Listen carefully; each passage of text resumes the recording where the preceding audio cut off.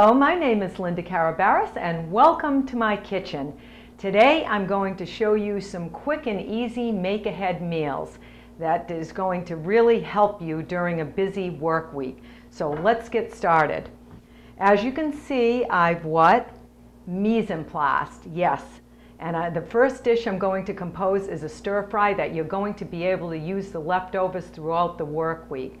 And um, this is especially nice Uh, during the summer when you can get nice fresh local veggies. So the first thing I have right here is my zucchini. I'll show you how I cut the zucchini for this particular stir fry. Cut off the ends like this. Put this aside. Then I just take the zucchini or summer squash. This is going to be a mix of both.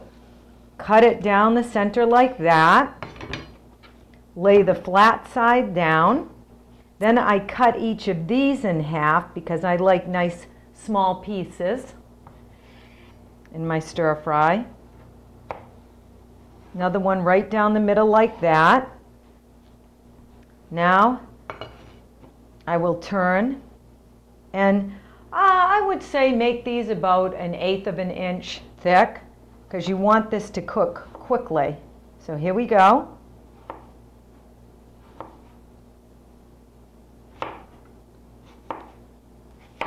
See how nice and easy that is? And you're cutting them all at once. And I love showing cutting techniques because that's also what makes life so much easier when you're cooking. To learn how to properly cut ingredients. Keep your fingers curled under. And here we are. How do you like that? Okay, and I put together a nice, uh, beautiful mix over here of both uh, summer squash, the yellow squash, and the green zucchini that I've already chopped. Isn't that pretty? So let me get my burner ready and I'll be right back. Okay, start my burner on medium. Yeah, I'd say that's medium. Oh, maybe a tablespoon of olive oil. And use a regular olive oil, not an extra virgin. The extra virgin I usually use for um, salad dressings because it will burn easy. Okay, our oil is heated. Chopped red onion. Mm, I love the smell of onions cooking in the kitchen. Oh boy. Onions are a staple in my house. I'm going to move these around a little bit. Let them saute a minute or two just to soften a bit.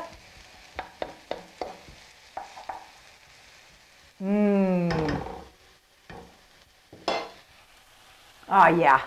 You can't get home and start making most dishes right from scratch. It's just impossible. So I do this Sunday night and then I come home Monday, the first day of the work week, and all I do is throw all this together. So it's nice. Ah, oh, love onions. Let's add the garlic. I got a couple cloves here.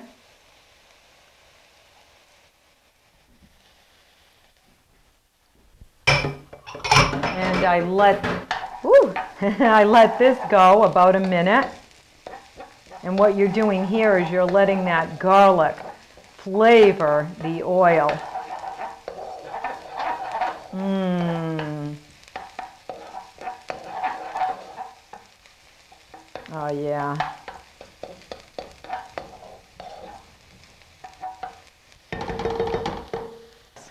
Okay, next up, look at this beautiful chopped red sweet pepper.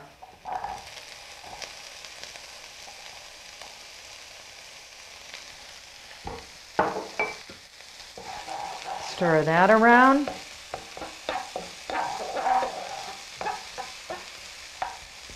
Let this go 30 seconds to a minute. We're going to add our beautiful combination of zucchini and yellow summer squash.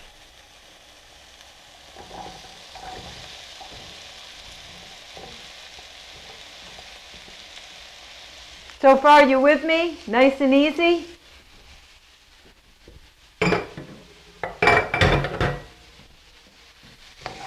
Oh, yes. Look at how colorful and pretty that is already.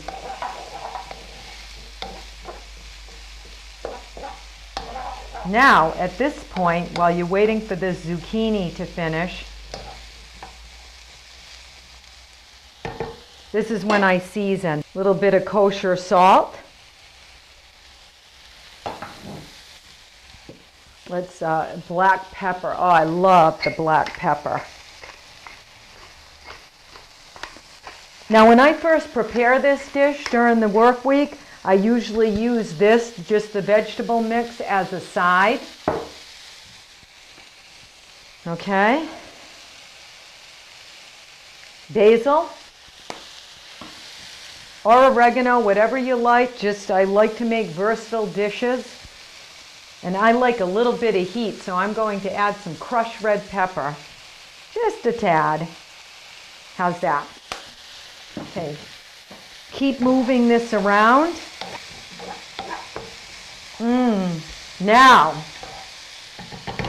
wine or sherry if you'd like to help move this along. It will soften the vegetables a little quicker and at the same time add some flavor. And I love sherry. So just, oh, maybe a tablespoon or two. That's all you want. Mmm. Oh, love it. And I love colorful meals. You know what? So check this out. Look at this.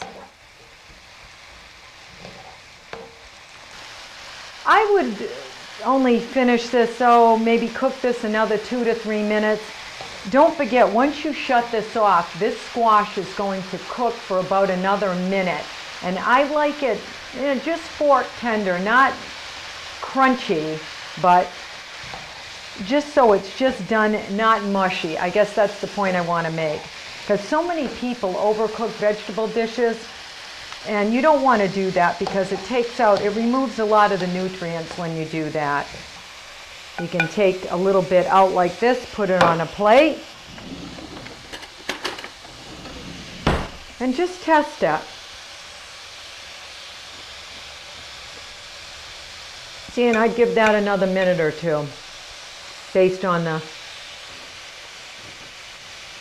firmness that you desire. Mm. Now, I take halved grape tomatoes and I add them last. Why? Because you want to keep them nice and colorful and somewhat hold their shape. They'll release a little bit of the juices and it will look so pretty in your dish and you'll keep that freshness and the flavor.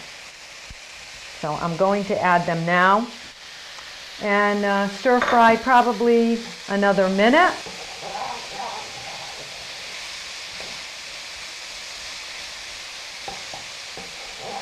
Mmm.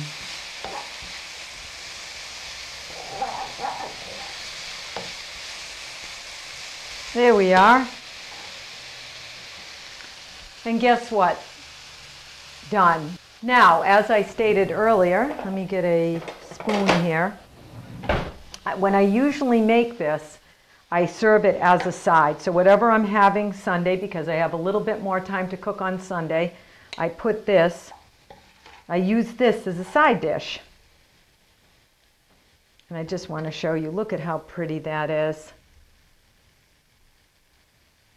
So the leftovers I'll use a couple times during the work week because see you make quite a bit of this. So what can you do? I make uh, orzo ahead of time, orzo or any kind of pasta. So now I've got some orzo here. And I love using orzo for a number of different things. So as a second meal, let's add some of this beautiful,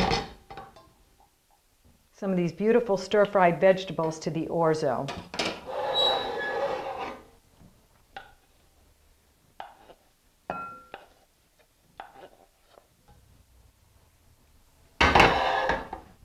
Oh, I just love using orzo because it's just easy to mix in and now let me plate this.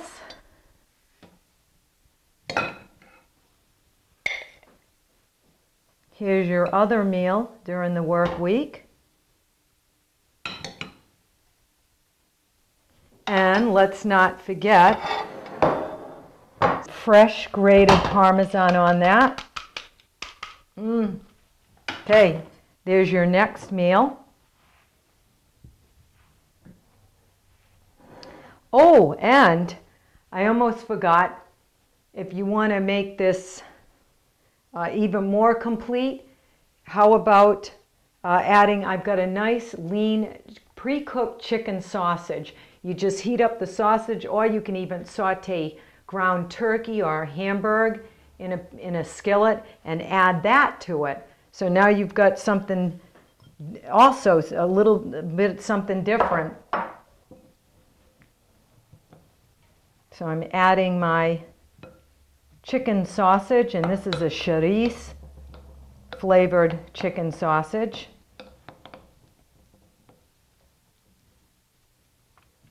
And look at that with the meat in it. Uh, one more idea. You can actually chill this now and use it on a salad. Am I giving you enough ideas? So once this is chilled, or you can serve it warm, it doesn't matter, but I just, you know, like it chilled on top of a salad. There you go for another idea and just add a little bit of dressing. You can crumble feta over it. Oh, just any number of things. Before you add the orzo, if you wanted to use some of it up, you could also put it on pizza throughout the work week. You, if you're making this on a Saturday, use it in an omelet, the vegetable mixture in an omelet for Sunday morning. Uh, I just love this. I do this mixture a lot and in the summertime it's even better when you've got all the farm stands around and you can get all these locally grown fresh vegetables. And as you can see, I have mise en place for our next make-ahead dish, one of my absolute favorites, quesadillas. And why do I love quesadillas so much? You can make them as a snack, an appetizer, a lunch paired with soup, a complete meal with a salad, and Oh, just so many, so many different ways to prepare them also, very versatile. So let me explain first what I like to use for my quesadillas. I love this lavash bread. Look at how nice and pliable it is. And you can find this right in front of the deli. And it comes in um, this white, it comes in a tomato, and it may even come in wheat. I'm not sure. Now, why use the lavash instead of, some of you may be asking, a tortilla? Because the tortillas are thicker because they're meant to hold a heavier filling. I just love this lavash because it's nice and thin and easy to work with. So that's the lavash bread. Uh, okay, next ingredient is, uh, these are the green chilies. Use the whole green chilies and cut them because the minced ones in the can, they're very mushy. Okay, so let's take one of these out and I'll show you how to cut it. This is what they look like, and these are mild. Now, if you like jalapenos, if you like quesadillas that are really hot, then by all means use the, I think they come in a can and they're already sliced, the sliced jalapenos. But those are a little bit too much for me, so I'm going to stick with the mild green chili. Just cut a slit in it like this. Okay, you open it up. Look at how nice that opens. So easy to do this. Then, oh, maybe 1 8 inch cuts. Keep your fingers curled under and just cut the chilies in long slices.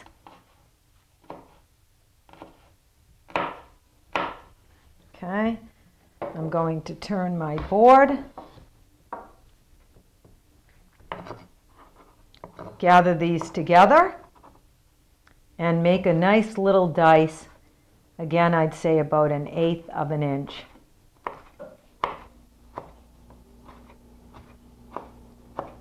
So you see how easy this is? And there you go. There's your diced chilies. Let's put these in here in this little cup. Okay. To wipe down my board. All right. I've got some nice diced green scallion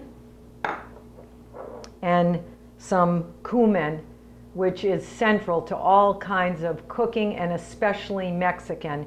This is a nice earthy uh, spice. Please get yourself a bottle of cumin. This is so good and nice and fragrant. And I guess it's uh, ground from the flower of, of parsley, from the parsley family, so nice and earthy. Okay, um, I'll do a um, white and a tomato.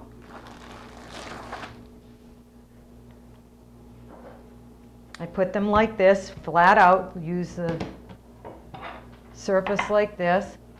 Now cheese. First we add the cheese. Now I like making my own cheese mixture and this is uh, sharp cheddar and Colby. Now the packaged ones, I use the block cheeses and I grate them. The packaged ones are fine, but it's not going to give as nice of a melt as this will. Uh, because the packaged ones are treated, I think, with cornstarch or whatever to keep them from clumping together in the bag.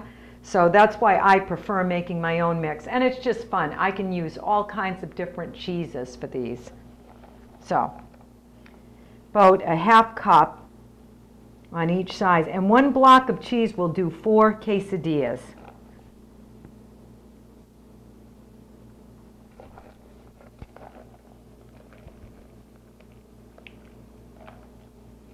So put it on half. Yeah, use all that. I love cheese. Mm. Okay, on half. let's throw a little over here. This guy. Next, my minced green chilies, just nice and light. You want to do a light toppings on these so they're easy to turn.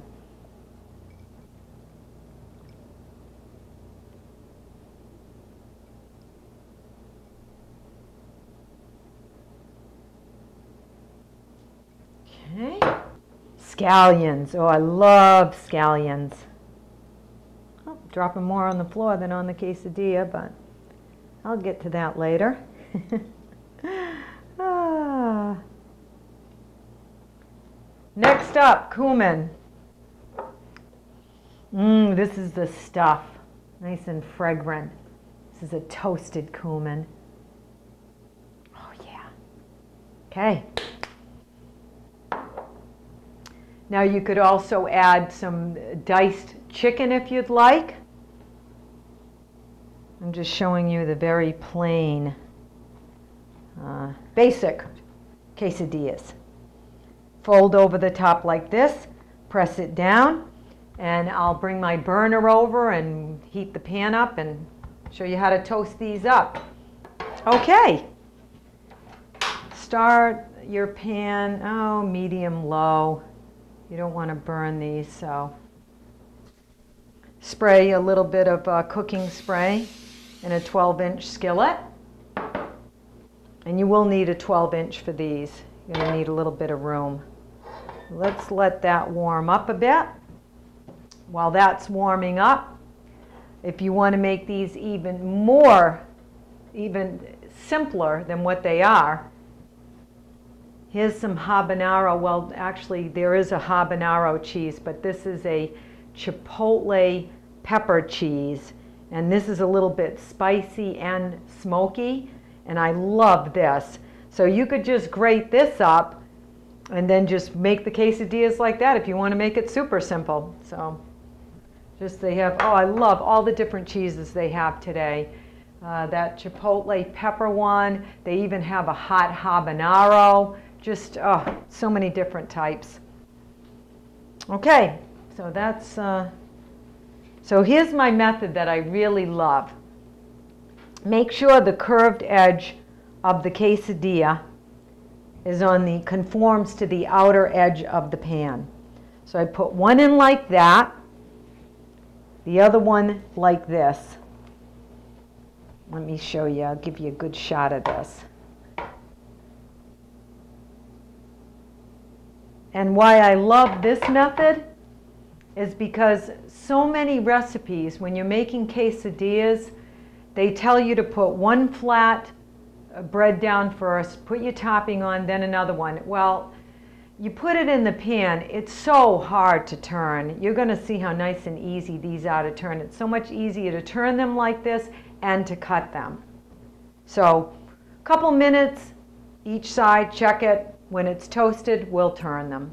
Okay, let's turn them. And you know what, I just want to mention, the tomato will brown up a little bit quicker than the white one because of the sugars in the tomato. So here we go with flipping it. Just grab one corner, just be careful. Flip over. Oh gosh. Look at look at how nice and brown that is. Mmm. Okay, let's see. The, the other one, put your spatula like this. Whoop! Quickly. Here you go. Mm-mm. Now you can have these as a meal and then make ahead. Why? Because then you can cut these up, put them in the refrigerator. You can stick them on a cookie sheet the next night and heat them up. Okay. Done. Look at this. Five minutes. Put this aside. Don't want to melt my spatula.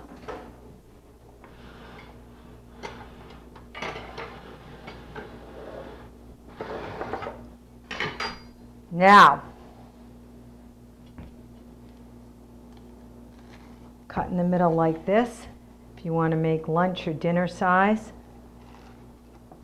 I'd cut them in quarters. Now you see also by this folding method how much easier it is to cut these. Isn't that nice?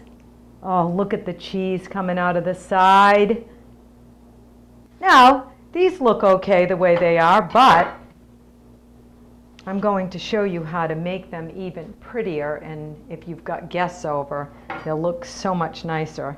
Just take the edge off like that and now you've got a perfect triangle. Okay?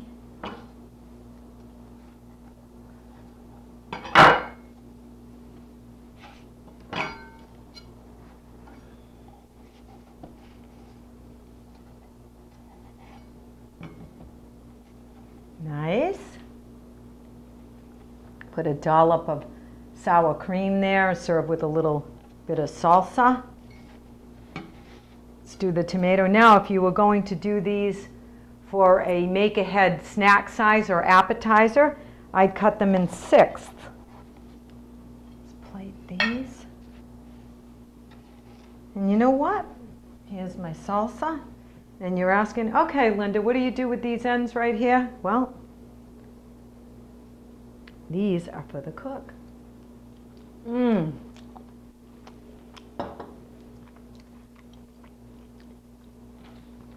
Delicious. Now, I take a pan and we can freeze these we're going to call what's I you heard the term IQF, individually quick frozen. That's what we're going to do with our quesadillas. When I get an hour, I usually put together a bunch of these different colors, freeze them, bag them, heat them up for seven minutes. So we'll put these right on a sheet pan like this individually. Don't stack them just like this. Put this in the freezer 15, 20 minutes. Okay, I've had these in for 20 minutes And look at this. Frozen solid. Now, I always date whatever I'm going to freeze.